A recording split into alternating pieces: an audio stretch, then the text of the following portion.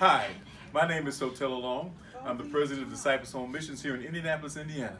And this is our segment of Light a Candle for Children. See, I'm lighting the candle. Arielle, you got your candle?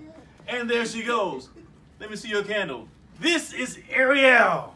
And she's our featured child of the day. And the Bible says, and then they brought infants to him that he might touch them. And when he saw it, they rebuked him. But Jesus called them to him and said, Let the little children come unto me and forbid them not. You dropped it. Give her her thing back. Thank you.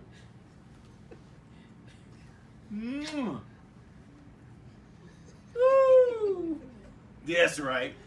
Come unto me and forbid them not, for such is the kingdom of God.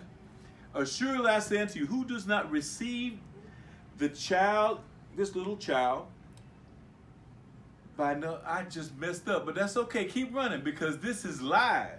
We're going to do it in one take. Assuredly I say to you, whoever does not receive the kingdom of God as a little child will by no means enter in. And this is a little child. Arielle, you're free to roam. Here you go. Go for it, darling. No? Yes? Maybe? Say mwah. Mwah. Mwah. Mwah. Thank you. Well, I'm going to close with this. This song is one that is shared by a lot of folks, but I just modified it to sing it just like this here. Jesus loves the little children, all the little children of the world.